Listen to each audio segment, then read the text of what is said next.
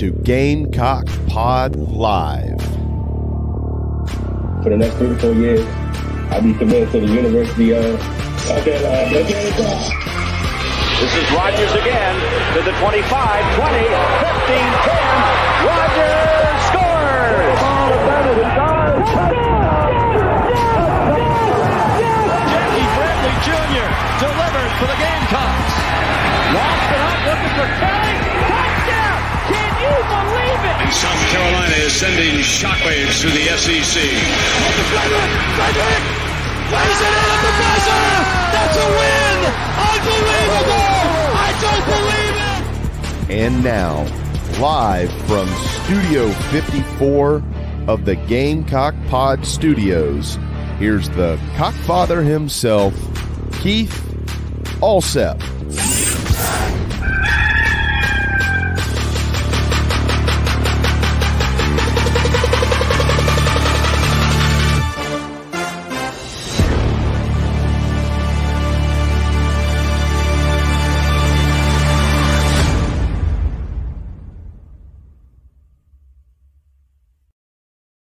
All right, everybody, welcome in to Gamecock Pod Live for Wednesday, April the 10th, episode number 1459, where yesterday's second welcome home was just revealed.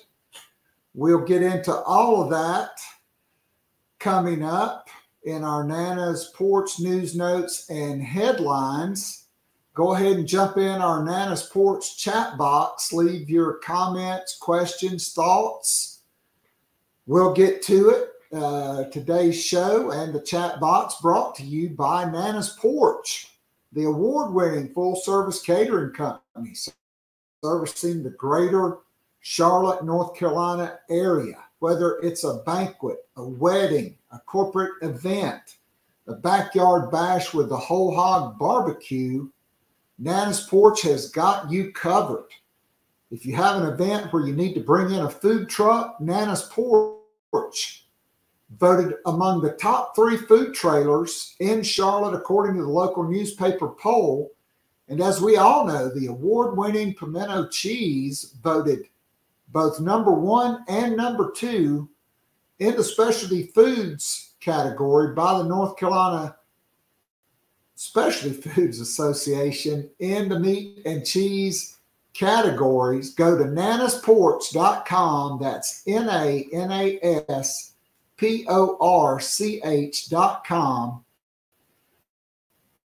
Tell them Keith Allsep and Gamecock Pod Live sent you. You'll love it. I it. If you're in that greater Charlotte area, if you're in Fort Mill, Rock Hill, Lake Wylie, Lancaster, uh, anywhere in that area. If you're in Boiling Springs, if you're in Shelby, Gastonia, Cherryville, all the way over to Monroe, up on Lake Murray, Mount Holly, Lincolnton, Denver, all those little towns through there. Boy, how do you know about those? Well, I just know. Um, they've got you covered.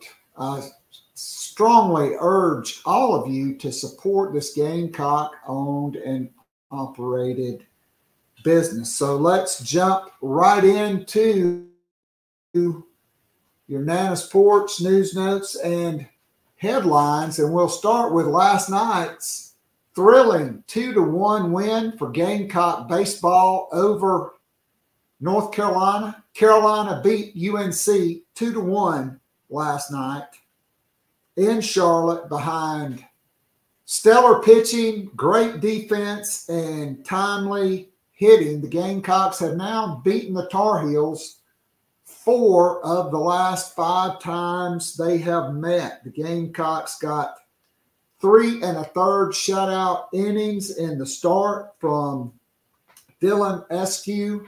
Roman Kimball came out of the dugout to induce a big double play ball in the fourth.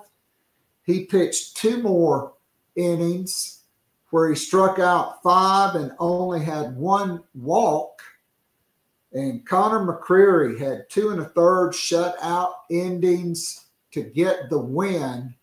The Gamecocks scored first against UNC's Friday night ace, okay, Folger Boaz. In the third inning, they had the bases loaded. Gavin Casas had a two strike count. He got a ground out that got a run home. And then the big hit, Dylan Brewer doubled to right center field and brought home Talmadge LeCroy. North Carolina attacked on their only run in the bottom of the seventh off Parker Marlott, but the Gamecocks get the win and get the bragging rights. Four of the last five meetings with uh, that other Carolina, just like in women's basketball, it's Carolina and North Carolina. Okay, the same in baseball. All right. We've had some stunning coaching departures this week. Uh, it started on Sunday night. The news first broke that John Calipari would leave Kentucky and go to Arkansas after Eric Musselman took the Muss bus west for Hollywood to go to Southern Cal. You know, you had Kentucky AD Mitch Barnhart talk about, you know, they were bringing Cal back. Well, he had a, like a 32 or 33 million dollar buyout. Now Kentucky gets a fresh start. Coach Cal put a very heartfelt message on social media yesterday saying it was time for him to step away. It was time for Kentucky to have a new voice, that Kentucky needed a new voice. New voice. He needed a new challenge. That'll be in the SEC. And then last night, the all time winningest coach in the history of NCAA basketball, men's or women's, Tara Vanderveer, announced her retirement at Stanford. She will be replaced by longtime assistant, Kate Paye, as Stanford moves to the Atlantic Coast Conference. Uh, Tara Vanderveer 45 years as a head coach. She started her coaching career as a grad assistant at Ohio State, coached at Idaho, coached at Ohio State, but really spent the last 39 years at Stanford. She stepped away for one season in 96 to coach the U.S. Olympic team, but she won three national championships, 27 conference championships, and 23 conference tournament titles. And she was coaching at Stanford when it was the Pac 8. Then it was the Pac 10. Now it's the Pac 12. But I don't really think at age 70, she wanted to fly, be flying across the country nonstop. And look, Stanford academically is just in a different league than everybody else. And I don't know how they're going to do it. I mean, they'll basically have to have virtual classes. They'll be traveling so much. And so she steps away. She uh, went to 14 Final Fours. She's also the only coach to go almost 30 years in between winning a championship. She won the title in 1990. She won her second one in 1992. And then she didn't win again until 2021 when Brea Beal missed a left handed layup, even though she got shoved in the back one or two possessions before that, they didn't call in San Antonio. Leah Boston missed the tip in.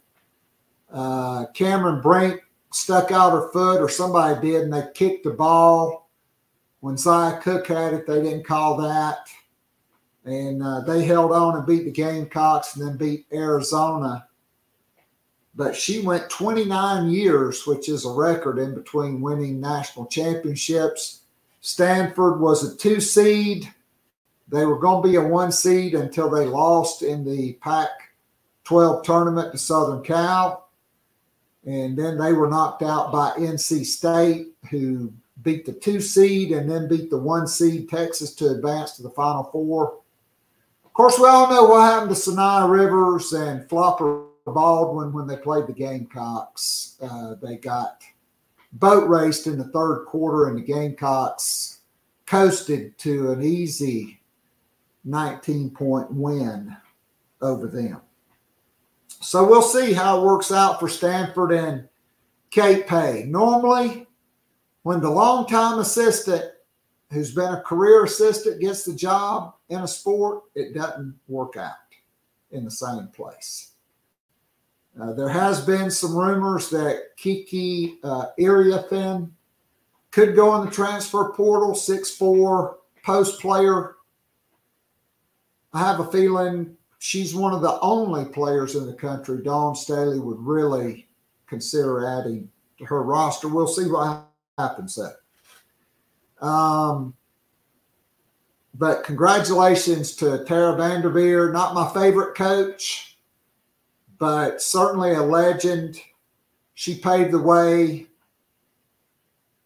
I remember they beat the brakes off the Gamecocks in the Sweet 16 before South Carolina got really good. Their tallest player was like six foot tall, and uh, Stanford had the uh, Wumake twins, uh, Nina and Chimmy. And after Stanford beat Carolina, she visited Dawn Staley, who she coached in the Olympic team in the locker room and visited with the players uh, and Dawn Staley for words of encouragement. So, and she's the winningest coach all time, more wins than Coach K. Uh, a record I don't know that will ever be broken. Maybe Gino. I, I don't know if he'll stick around that long. Um, all right, Mel Kiper in his latest mock draft Good news for Xavier Legette if this comes true. He's got Xavier Legette sneaking into the bottom of the first round at pick number 32 and going to the world champion Kansas City Chiefs, where he would be catching balls from Patrick Mahomes and would be a weapon for Andy Reid to draw up all kind of plays for. So uh, I really hope that comes to fruition. I think he's a great fit there, and I think he's just one of one. There, there are not many guys like him in, in this draft in particular, but there are not many guys that are as big and as physical and as fast and have the work ethic and the desire to be great that he has. So I really hope this happens for Excel. All right, the uh, Gamecocks and Shane Beamer got uh, he issued two welcome homes yesterday, and they're using the two and the five in sand and storm uh, for the hashtag for the 25 class.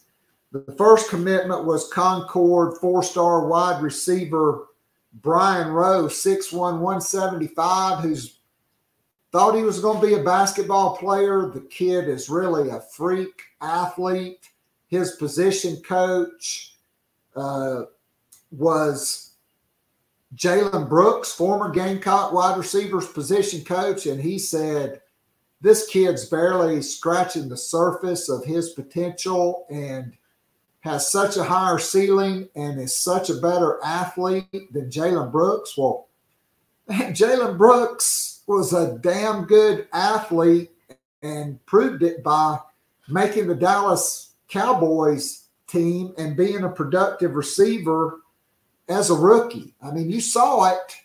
He just couldn't put it all together, kind of like Xavier Legette. But I think the Gamecocks are getting a great one. Uh, and what a great first pickup for new wide receivers coach, Mike Furrey. Uh, Rowe was the second commitment of the class, joining Jaden Sellers, a wide receiver from Florence, and the younger brother of Gamecock quarterback LaNorris Sellers. But it's been a long time. It seems like this recruiting class is picking up some steam now. Uh, there was a second welcome home yesterday that was uh, just announced. That is Abbeville safety Demarcus Leach, who South Carolina offered last summer in camp. 6'3, 185, a tremendous athlete and a long, rangy, fast, twitchy guy that I think will be a star. And uh, I think, look, anybody that's from that part of South Carolina, like I grew up, Abbeville produces athletes. Okay. Athletes that usually turn out to be really good. And um, I was afraid Clemson would come in hard on him, but you got Torrian Gray, you got South Carolina being longer, stronger. Clemson has not offered, but Leach chose the Gamecocks over offers from Virginia Tech, Georgia Tech, Duke, Wake Forest, Cincinnati, and Vanderbilt. He's a three star guy, but you know, there were some three star guys that South Carolina took early in last year's class that turned out to be four star guys. And um, I really, really like him. Leach is a state champion in football and another multi sport athlete competing in basketball and track. Rowe he chose the Gamecocks over Duke, Miami, Virginia, West Virginia, Pitt, Maryland, and Michigan State. And so, two really good athletes joining the class. Uh, so, you've got two in state commitments. Uh, on Friday, Sumter outside linebacker Anthony Addison, 6'3, 215 he is scheduled to go public with a commitment. I like the, for the game cock stand here, Tennessee, the primary competition. Uh, but I really like the Gamecocks' chances, and he's another long, rangy athlete that has a potential to play multiple positions. That uh, has an opportunity to probably end up being a 255 pound guy that probably still runs four six in the 40. And then next weekend, South Carolina will host an abundance of players at the spring game, including their top quarterback, uh, target uh, Montgomery from Ohio. And uh, I wouldn't be surprised if South Carolina doesn't pick up, start picking up steam. Uh, there was uh, another really tremendous outside linebacker from uh, Snellville, Georgia, on campus yesterday. I think the Gamecocks they offered him. I think they have a great shot there. But if they could get Ryan Montgomery on board, and he's scheduled to make his decision shortly after visiting South Carolina for the spring game, I think that could really help spearhead and catapult this class as South Carolina gets ready to go into those uh, May 31st, June 7th, and June 21st official visits. So the Gamecocks add two big time athletes uh, to the class over the last 24 hours, and there could be more good news on the way later this week. All right, we've talked a lot about women's basketball. Obviously, South Carolina capped off a perfect season. We'll talk about that with Mike. We'll get into spring football as well. But we'll start with men's basketball, who, for the first time since 2017, finished ranked in the top 25, which is an important step for Lamont Paris in year two. South Carolina made the NCAA tournament as a sixth seed. Unfortunately, uh, a Herculean performance by Jermaine Couisnard sent them home early. Uh, three of the four six seeds wound up losing to the 11 seeds. You know, if Couisnard gets 20, South Carolina wins that game, but he got 40. And uh, the Gamecocks were knocked out, but they finished ranked in the top 25. We'll talk about uh, next year uh, with Mike Uva. Um, Gamecocks finished 23 in the coaches poll and 25 in the Associated Press.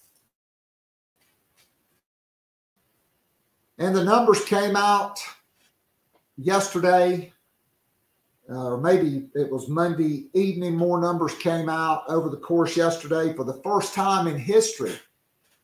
The women's basketball national championship game between South Carolina and Iowa had more television viewership than the men's national championship game, even though both games had the top two seeds playing for the national championship UConn and Purdue on Monday, South Carolina and Iowa on Sunday. Uh, but 18.7 million average viewership. It peaked at 24 million viewers. I have a feeling a lot of the Caitlin Clark followers probably changed the channel after the third quarter when South Carolina led by 12. We'll break down that game and get into that with Mike Uva. Uh, a little bit later, it looks like uh, Billy Donovan will not be a candidate at Kentucky, which likely means uh, Drew at Baylor will be the next head coach at Kentucky. That is, uh, at least that's my bet. My bet um, is on him to win it. So we'll see what happens there. Um, but John Calipari should be named any day now as the next head coach at Arkansas. All right, so those are your Nana's Porch news notes and headlines. Because of Gamecock football media availability, we recorded this interview uh, earlier this morning with Mike Uva. At that time, Demarcus Leach had not announced his commitment, so we didn't talk about it, but now he has. And so uh, let's get ready and listen to Mike Uva. Leave your, your comments, questions, thoughts in the Nana's Porch chat box. I'll answer, and then I'll be back on the other side of this interview. And so, uh, here is Mike U.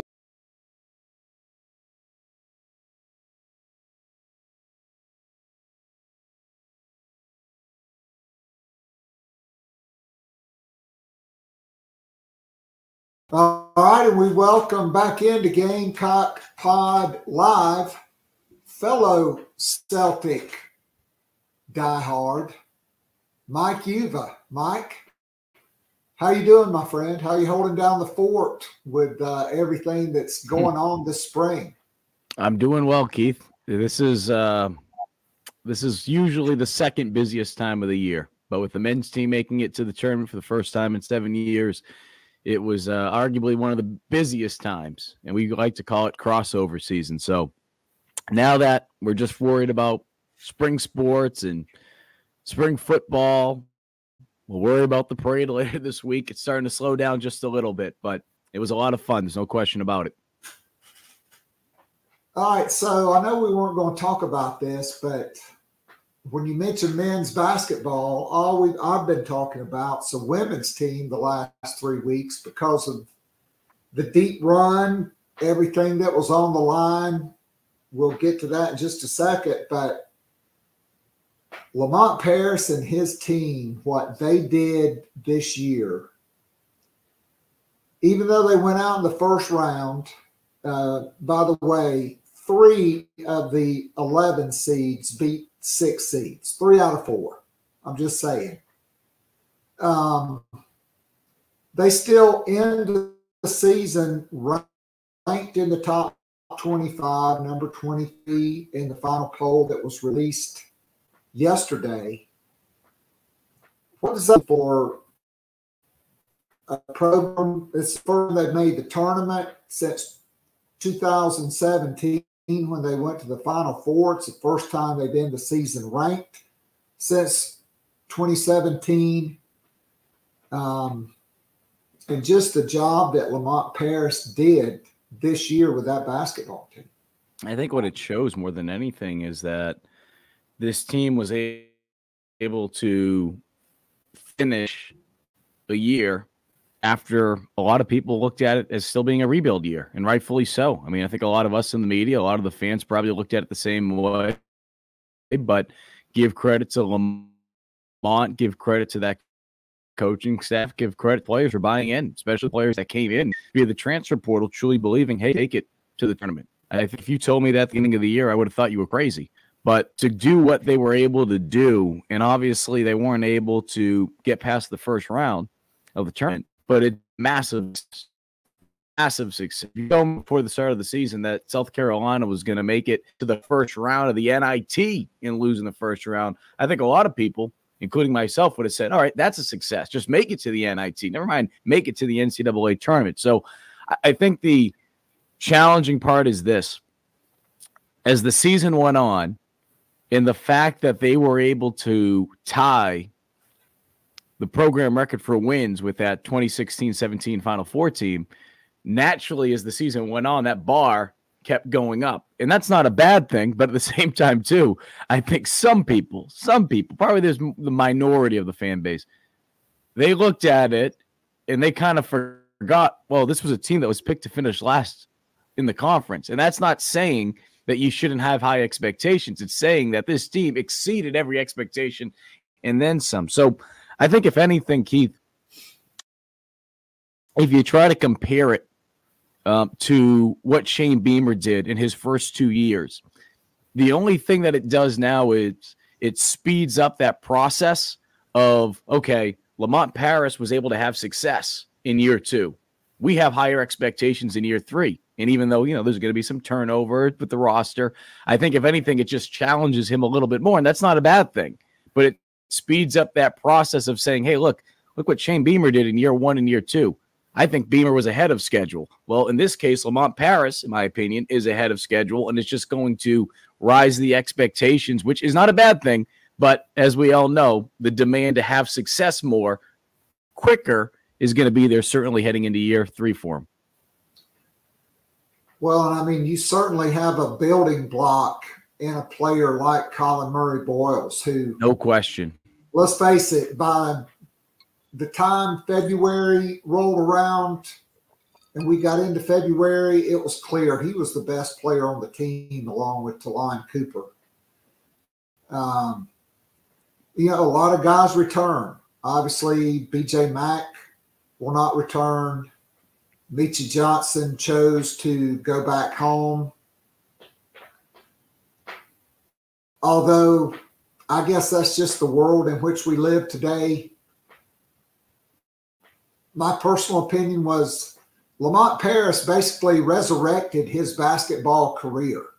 He was dead in the water like Lazarus. And Lamont Paris uh, gave him a second life in basketball, and now he's going back to Ohio State. But I guess that's the world in which we live. Lamont Paris will, you know, certainly look to replace the pieces that, that he is losing in the transfer portal. But they have a nice core of guys back, and you have a budding star in Collin Murray Boyles returning. And so I think there should be some expectations in year three. Do you need to add, you know, two or three pieces in the transfer portal? Absolutely.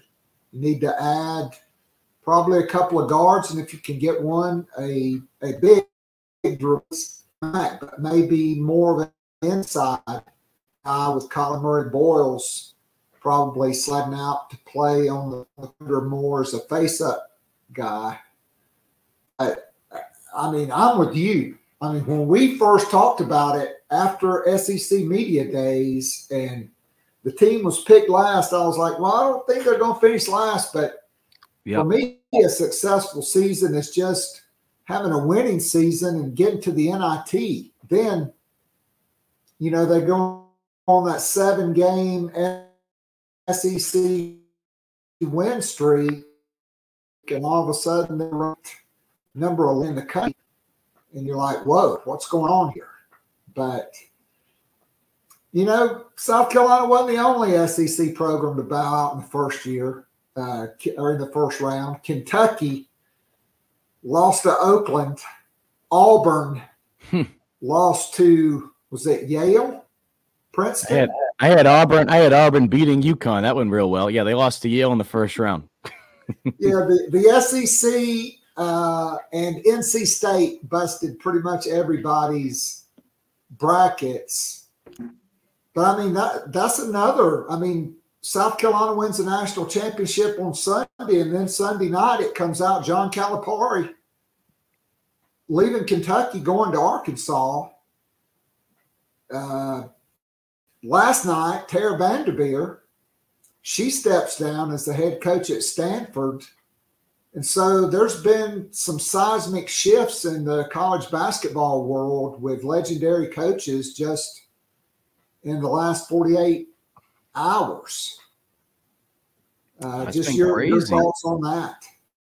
Well, it's been crazy. And I know there's not a direct correlation with everything, but if we take a step back and we just look at sports in general, my goodness, what a wild year it's been for changes in sports for coaches, whether it be in the NFL with Bill Belichick no longer coaching the Patriots, whether it be Nick Saban retiring after dominating college football and being at Alabama for the last decade plus.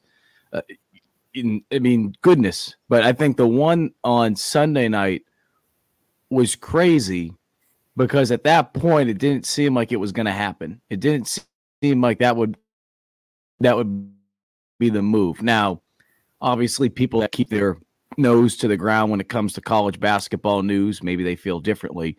But I think for the majority of us, at least here in Columbia, or those who follow South Carolina, I think we assumed at that point, you see a comment, the statement that came from Kentucky's AD just days prior, if not a, just over a week before, saying, yeah, with Coach Cal, he's going to be our head coach chair forward. Now, of course, things changed in terms of the domino effect, right? Musselman goes out to Southern Cal. That creates the opening at Arkansas. And Cal looked at it as an opportunity to be able to get a fresh start and also give Kentucky a fresh start. So, uh, again, I, I still found it crazy at the time simply because I'm like, he's going to walk away from that much money. But then again, you know, the guy has done pretty good for himself already in his life. So I think it's one of those things now when we look at the S SEC next season, I mean, shoot, it was already going to be even more with the addition of Stetson, Oklahoma. It's going to be a gauntlet. I think we, we talk about it so much from a football standpoint. It's going to be a gauntlet for every sport, but especially when you look at how much better the SEC has got in basketball over the last couple years. But now you throw in schools like Texas and Oklahoma, it's going to make it more challenging. But that doesn't mean South Carolina still can't find a way to have success. I also think it's going to be different when we look at Kentucky next year. Kentucky will be going through a rebuild. And I I don't want to make assumptions here, but at least right now, and it's just weird for me to say this, is anyone really going to be afraid of Kentucky? I mean, we'll have to wait and see who their coach is. But just even saying it doesn't sound right. It's like saying, "Will anyone be afraid of Alabama in football?" Like, I can't wrap my head around it. So I'm interested to see how much impact it will have in recruiting across the country, across the the SEC. But adding in Oklahoma and Texas there, places that aren't too far away from a territory standpoint for, from Arkansas, what type of impact does that have over the next couple of years as Coach Cal tries to replicate what he was able to do in his early days at Kentucky and what he's been able to do in the past at some other schools like UMass. I know there's some scandals there, but you get what I'm trying to get at. Well, I mean, there have been scandals everywhere. There were scandals. No, exactly. There were scandals at Memphis. Um, you know, I mean, look, Andy Enfield leaving Southern Cal to go to SMU. That was a shocker, right? SMU's joining the ACC. Uh, Enfield had had a lot of success there. He had recruited a number of guys that, like Calipari, they went to the NBA. They'd made a lot of money. Um, you know, UCLA kind of showed some vulnerabilities this year with my guy Mick Cronin, who I've known for over 25 years. Uh,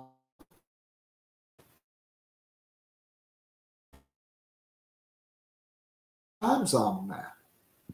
I mean, that is a kind of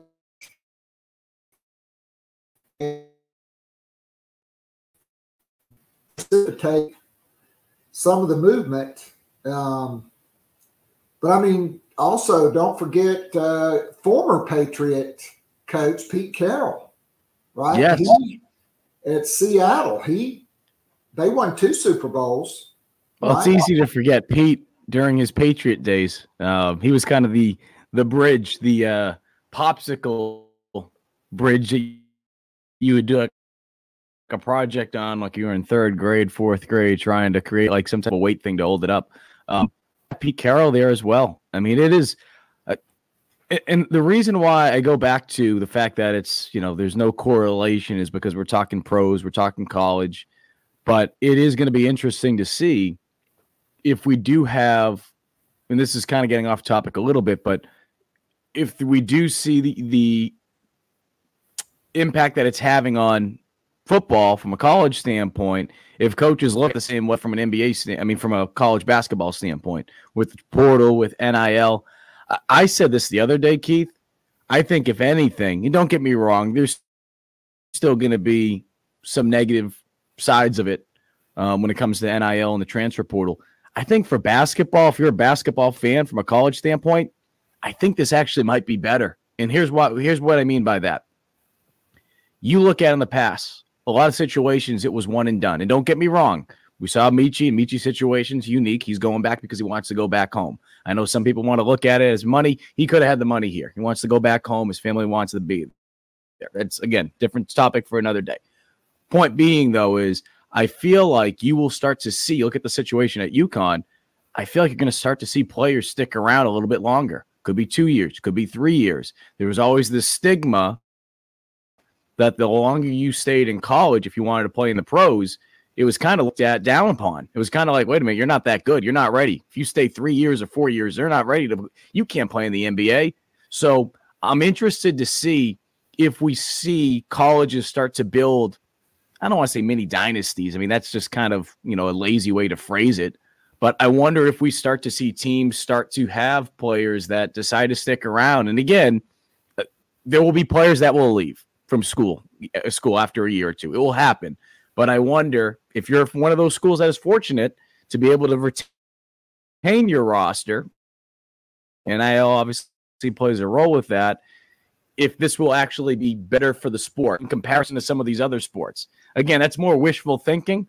But basketball, I mean, man, I I think we're going to see a little bit of a change, and maybe South Carolina can benefit from that if players want to play uh, a guy like Lamont.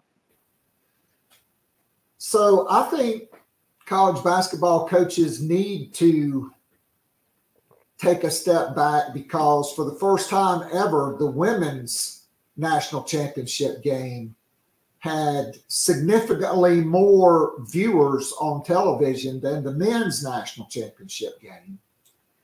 And I think it's because of the one and done, because of the transfer portal. Guys are not sticking around, and you've got Last year, Alabama was the number one overall seed. They had Brandon Miller.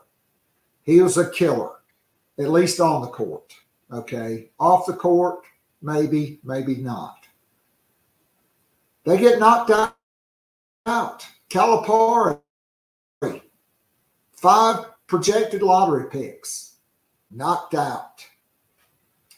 But you saw Rick Barnes get a Dalton Knecht. You saw Alabama and Nate Oats change and go get a Nelson from North Dakota State or wherever he was from, and some older guys. And I think for college basketball coaches, you can't do what even Krzyzewski, who was more successful with it, we see it's not working for Jon Scheyer. That's for damn sure.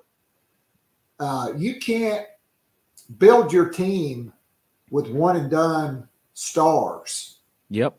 Can you take one or two? Yes, but you need to be taking high school guys that you can retain and develop and you need older guys in the transfer portal. To me, that's the success of Dan Hurley at UConn. He lost three starters, five of his top eight. He went the transfer portal. He had guys that he was signing and developing. And he's the first coach since Billy Donovan did it, who, by the way, could be the next coach at Kentucky. Or it may be Scott Drew. And if it is, I imagine Scott Drew will pound the transfer portal with that big blue collective they've got, and people will fear Kentucky. Billy Donovan, he's been out of the college game a long time. But I think that's one reason, not just, just uh, Caitlin Clark, but mm-hmm. because of Angel Reese, because of the teams like UConn, like South Carolina, like now UCLA, Southern Cal with Juju Watkins, Notre Dame with Niele Ivey, Vic Schaefer, who was two-time runner-up at Mississippi State. Texas was a number one seed. A lot of people think they could be South Carolina's main competition for the national championship next year. And they're going to be in the same conference. It's not LSU, it's South Carolina and Texas. But the players, they stay for 4 mm-hmm. years. Mm-hmm. Do they hit the transfer portal some? Yes. But it's the names, it's the rivalries, it's the fact that, well, gosh, I don't even know a single player from North Carolina, and I know one guy from Duke. That used to be the top rivalry in all of college sports was Duke North Carolina basketball. Now it's poof, it's disappeared. Now the rivalries are in the women's sport. And so I think maybe men's coaches need to take a step back and look at Rick Barnes, look at Matt Painter, look at Danny Hurley, and see what they're doing to sustain success. Even Bruce Pearl, although they did get knocked out. Um, so it'll be interesting to see. All right, so let's let's talk about what I really wanted to get your thoughts on was the improbability of South Carolina losing all five starters who had all they'd done was their freshman year. They lost one game in November. They ran the table. They were the number one overall seed in the country. COVID happened. They didn't get to play in the NCAA tournament. The next year, they go to the Final Four. They lose a heartbreaker. The next year, they go back to the Final Four. They win a national championship. Last year, 6 and 0 clearly the number one team in the country, the overwhelming favorite to win it. And they lose to Caitlin Clark and Iowa in the semifinals. It was devastating because I was there. And then to have five brand new starters, four brand new players. Never has a team lost all five starters from a Final Four team and gone back let alone win the national championship or have an undefeated season. Yet we know that's what happened. Just your thoughts on on that. Hmm. When we talk about the men's team, about being still in a rebuilding year, in a lot of ways heading into this season. I think on the outside looking in, unless you're one of those people that goes to bed with your Gamecock pajamas on, that realistically you look at it and you say, all right, this would be some type of rebuilding year. However, a rebuilding year for the women's program in comparison to the men is much different. I think when we talk about what a rebuilding year would have looked like for South Carolina before the start of the season, maybe a, an appearance to the Sweet 16. Maybe you've reached the Elite Eight if you're fortunate because you still had some veteran talent, starting with Cardoso from the year before, returning to that team. But to not only go to the Final Four, not only win it all, but to do it undefeated. I mean, is this the most talented group that South Carolina has ever had? Certainly not.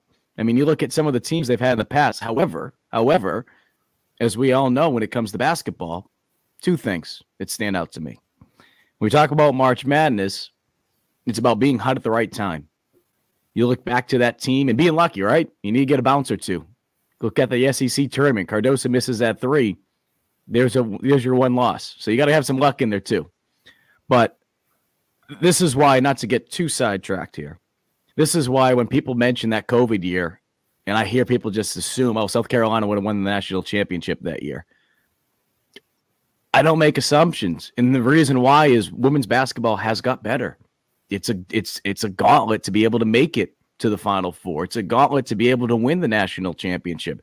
These aren't the days where, and I'll probably get killed by the women's basketball fan purists out there. These aren't the days where the Pat Summitt teams, the UConn teams by Gino, they weren't playing rec teams for crying out loud. Like there, it's it's a dogfight to make it to the finals, and we saw that the last couple years with USC. There's a reason why A'ja Wilson only has one championship and only appeared in one championship. There's a reason why Leah Boston only appeared in one championship.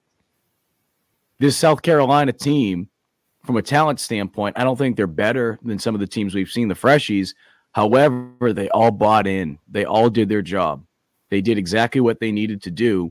And from a team standpoint, that is why that is why they'll be remembered as one of the best teams of all time, even though from a talent standpoint, they might not have been there. But you know what? It's not about having talent. Go ask the 2007 Patriots when they won 18 and 1. It does not matter how much talent you have. It doesn't matter, right? Go back a couple years ago from a basketball standpoint, the Golden State Warriors when they set the record for wins in the regular season. What did the Chicago Bulls team back in the day say? It ain't it don't mean a thing without a ring. So I, bring that up not to take shots at other teams and not just you know other teams, uh, not just being USC, but other programs who've had a lot of talent in the past. But it's to say that this year's team did something that really looked improbable because I think a lot of people looked at it as okay. They'll rebuild this year. And then next season will be the year. There's no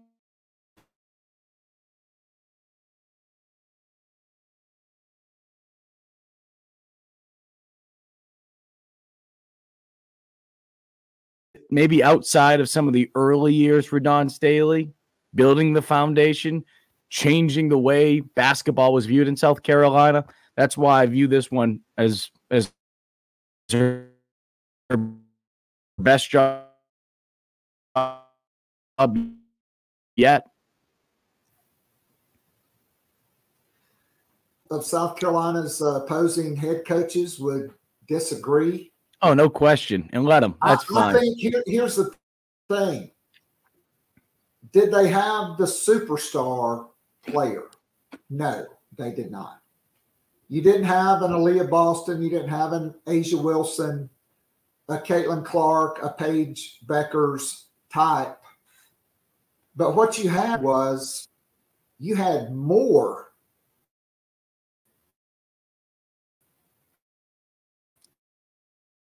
Depth. players. Yep.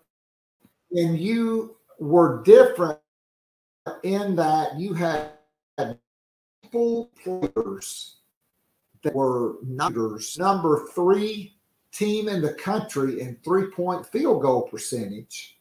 Mm-hmm. And in the national championship game, they matched Iowa on threes. Iowa was the number one team maker of threes because they shot a ton of threes. They made 11 per game on average. Through three quarters of that game, South Carolina took a commanding 12 point lead in the fourth quarter.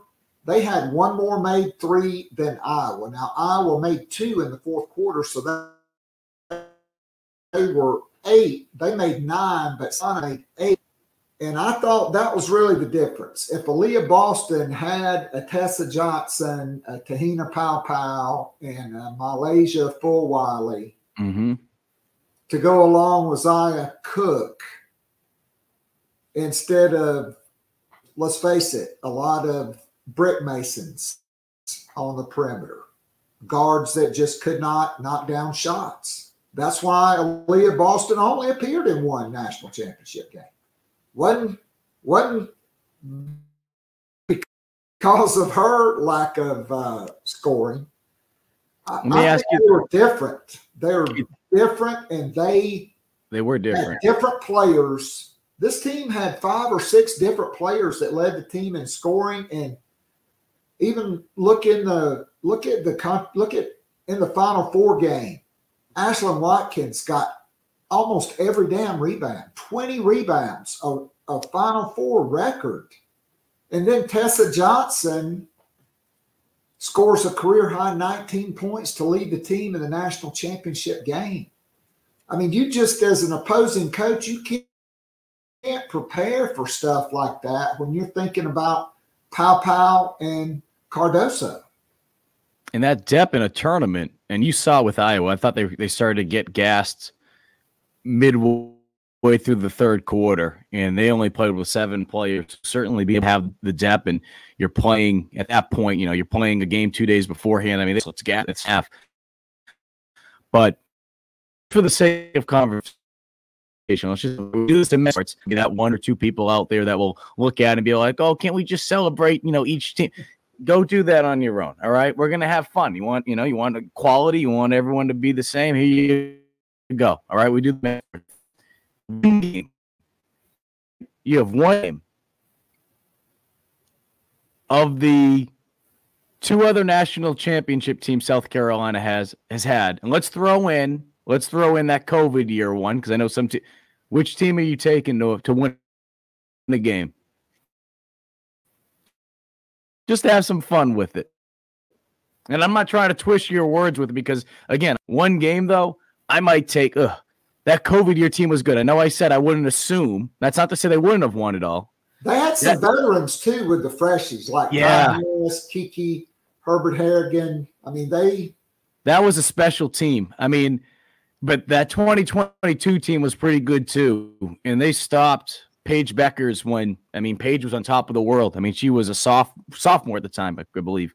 So to me, I would I would still go with that 2022 team. That was special. But again, that COVID year team was good. This year's team was good.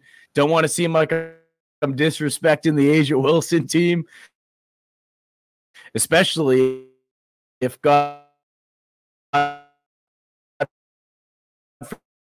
forbid Alaina Coates is making that team even more disagree. I would think that is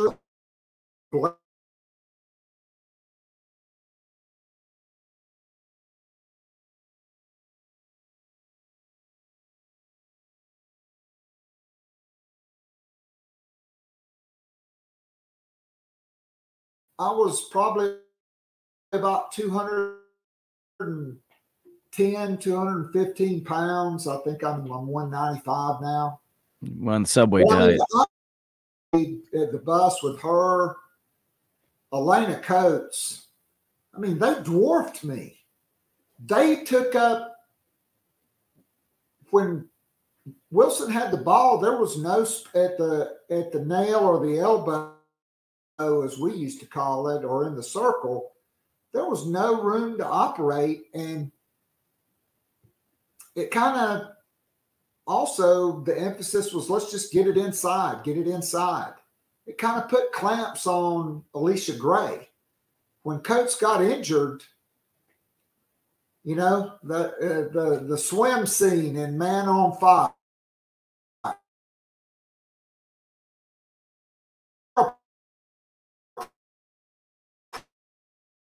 Prisoner on that block, you are